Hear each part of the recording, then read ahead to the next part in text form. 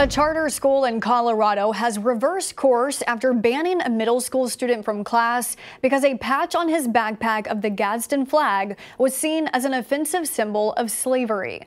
A video went viral of the parent conference with school administrators when the mother of the 12-year-old student defended her son's right to have the badge on display. Here's a few snippets of that video. Take a listen. The reason that they do not want the flag, the reason we do not want the flag displayed is due to its origins with The Revolutionary slavery and slave trade. The bag can't go back it's got the patch on it, because we can't have that in and around other kids. Yeah, and I mean, we teach him to always stick up for your beliefs, and I mean, you're going over the revolution this for seventh grade. I mean, the founding fathers stood up for what they believed in against unjust laws. This is unjust. After a heated debate and much back and forth in an exchange of emails between the parent and administration, the school board called an emergency meeting and, after careful consideration, allowed the boy to keep Don't Tread on Me on his backpack. Let's take a quick look at how the media is covering this story. As you can see, the coverage is heavily unbalanced. Largely, right-leaning news outlets like Fox News are reporting on the Gadsden flag controversy, which ultimately went in the students' favor.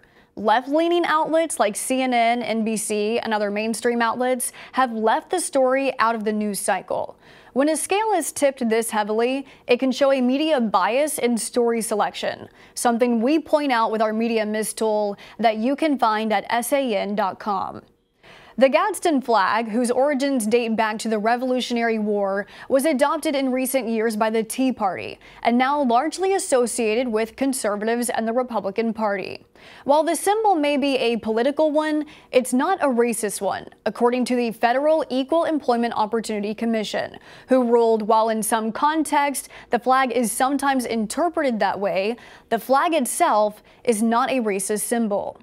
The Colorado governor agreed, quote, the Gadsden flag is a proud symbol of the American Revolution and an iconic warning to Britain or any government not to violate the liberties of Americans.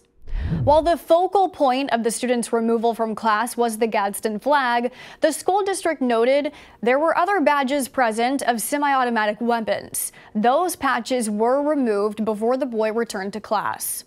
For the boy's mother, her recording was seen by millions of people on social media, which struck a nerve with a nation in an ongoing conversation over how some of America's more controversial history should be taught or portrayed.